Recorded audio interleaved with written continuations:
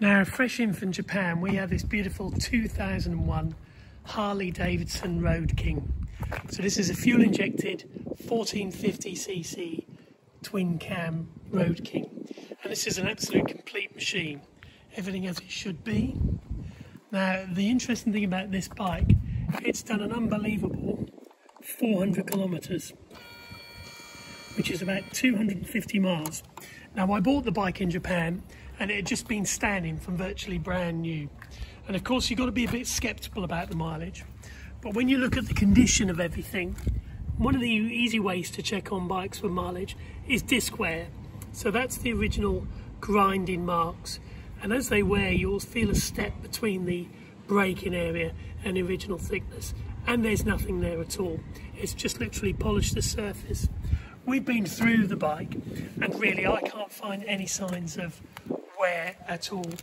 Even the rear disc is in perfect order and it's absolutely good. But you know, it's up to yourself uh, if you view the bike to confirm if you're happy with the mileage, but we believe it's a low mileage bike. Now, we recommissioned the bike, which was new battery, fitted new pads as a matter of course, because they're 20, 23 year old brake pads. We put a new fuel pump in, filter, and all pipe work because they do deteriorate over time and of course she's out of service, new plugs, all fluids. Now she starts on the button, just the fuel pump priming. The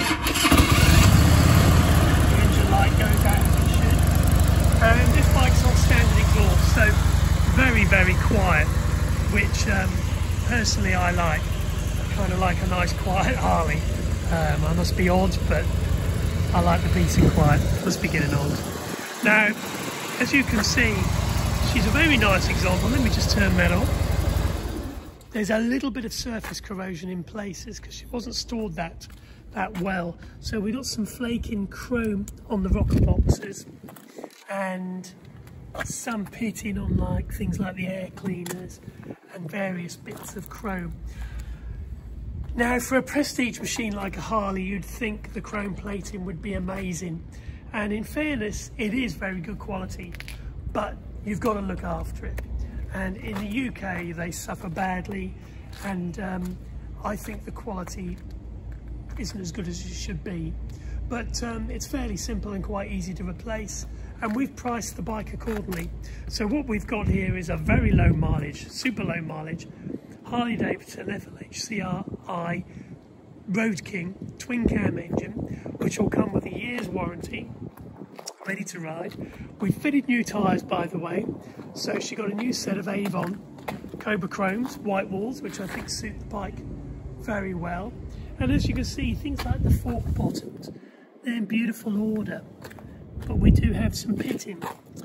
And uh, I've seen bikes at less age with this with the same problem. Uh, the panniers, it's the leather type panniers, they're in perfect order. There is no damage. There's no scrapes, no marks. The silencers, which are original, are in perfect order. The running boards, there's no scraping on those. So a very nice machine and ready to go.